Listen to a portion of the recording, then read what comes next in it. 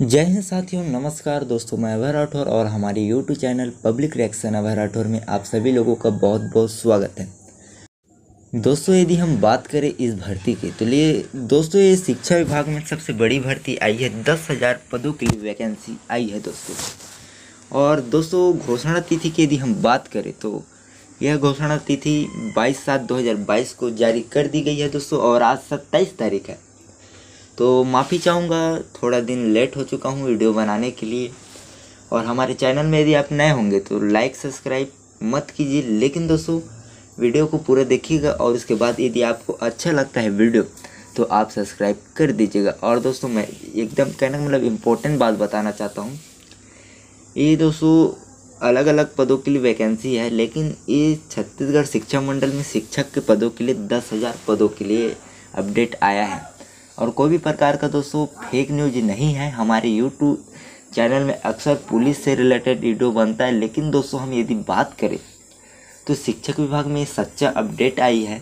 इस नाम से हम इस दस हज़ार वैकेंसी के लिए हम चाहते हैं कि इस वीडियो को बनाया जाए। इसलिए हम इस वीडियो को स्पेशल बनाया और हम दोस्तों, जो अपडेट दिया गया है विभाग द्वारा, उसी अपडेट को हम आपको दर्शा रहे हैं।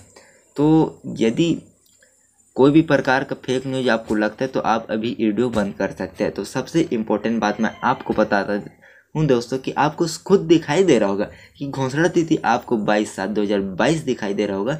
उसके बाद यदि अधिसूचना और आवेदन और अंतिम, इन तिथियों की बात करें तो अभी तक का विभाग द्वारा इसका कोई अपडेट नहीं है।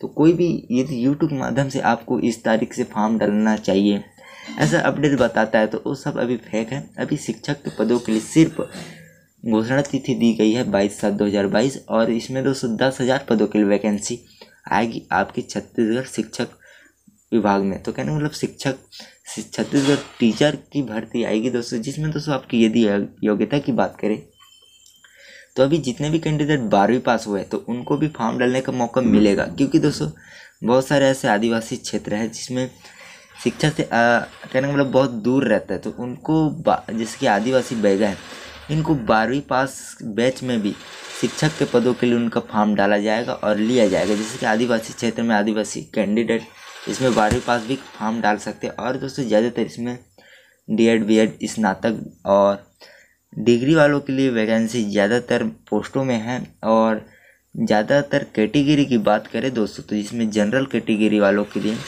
वैसे तो जनरल कैटेगरी वालों के लिए हर अक्सर भर्ती ज़्यादा रहती है, लेकिन इस बार भी जनरल कैटेगरी वालों के लिए एकदम शानदार भर्ती है तो जल्द से जल्द इसका फॉर्म अब डालेंगे दोस्तों। तो जब भी इसकी स्टार्टिंग डेट आती है तो हम आपको ज़रूर बताएँगे। तो वीडियो कैसा लगे ज़रूर सब्सक्राइब करें। धन्यवाद, बने रहें।